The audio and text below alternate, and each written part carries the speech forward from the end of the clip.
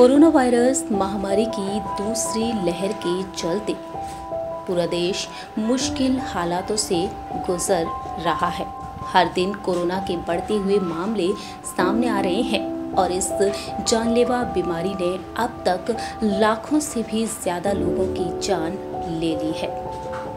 इस महामारी के चलते हालात काफ़ी गंभीर हो चुके हैं, जहाँ एक तरफ़ देश भर में ये महामारी फैली हुई है तो वहीं दूसरी ही तरफ़ इस संकट की घड़ी में मरीजों को अपनी जान बचाने के लिए दवाइयाँ और अस्पताल में बेड से लेकर ऑक्सीजन सिलेंडर तक के लिए मशक्कत करनी पड़ रही है। सोशल मीडिया पर लोग मदद की गुहार लगाते हुए नज़र आ रहे हैं। और इस दौरान टीवी इंडस्ट्री और फ़िल्म इंडस्ट्री के सितारे लगातार मदद के लिए हाथ आगे बढ़ाते हुए देखे जा रहे हैं। इस लिस्ट में नाम शामिल है फ़ेमस एक्ट्रेस रवीना टंडन का।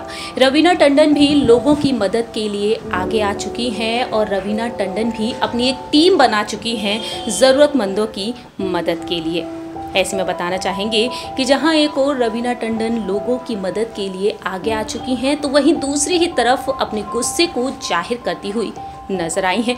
आखिरकार रवीना अपने गुस्से को क्यों ज़ाहिर की हैं, बताते हैं आपको हमारी इस रिपोर्ट के ज़रिए।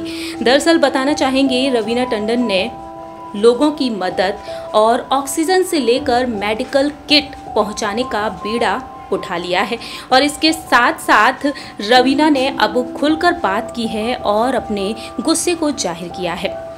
रवीना, जहाँ एक और मुश्किल हालातों में लोगों की मदद कर रही हैं, ऑक्सीजन सिलेंडर उन तक पहुँचाने की व्यवस्था कर रही हैं, जिससे कि ज़्यादा से ज़्यादा लोगों तक वह मदद पहुँचा सकें। रवीना टंडन के सोशल मीडिया अकाउंट पर हर दिन ढेरों मैसेजेस आ रही हैं और उनकी टीम उन मैसेजेस का जवाब भी दे रही है। लेकिन रवीना काफ़ी निराश हैं कुछ हालातों को देखकर। दरअसल रिपोर्ट्स की माने तो सामने आया है कि रवीना टंडन ने हाल ही में अपने गुस्से को ज़ाहिर किया है। रवीना ने कहा है कि जो हो रहा है, उस पर यकीन करना बेहद मुश्किल है।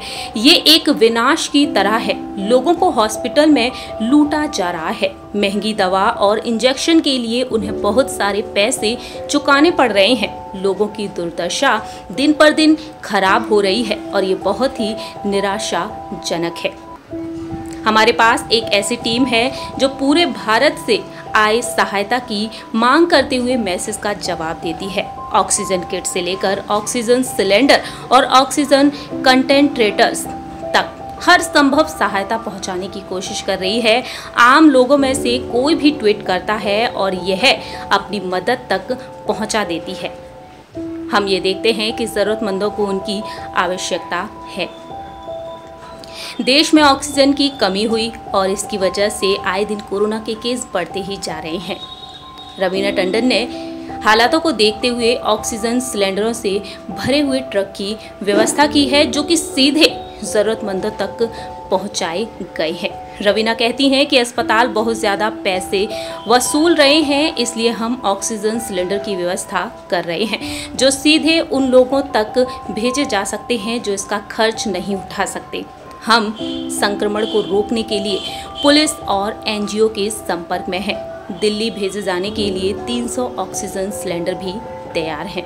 और इस तरह से रवीना टंडन ने अपने गुस्से को ज़ाहिर किया।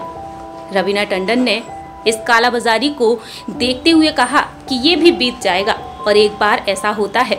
मुझे उम्मीद है कि ये कालाबाजारी करने वालों को पकड़कर जाँच के दायरे में लाया जाएगा। वे गिद्ध की तरह हैं जो हमें नोच नोच कर खा रहे हैं। और इस तरह से रवीना अपने गुस्से को ज़ाहिर करती हुई नज़र आई हैं। सोशल मीडिया पर रवीना काफ़ी एक्टिव रहती हैं और अपने फैंस से जुड़ी रहती हैं और अपने फैंस के लिए अब आगे आ चुकी हैं। हमारी इस रिपोर्ट में इतना ही। तब तक के लिए आप देखते रहिए नेक्स्ट नाइन न्यूज़।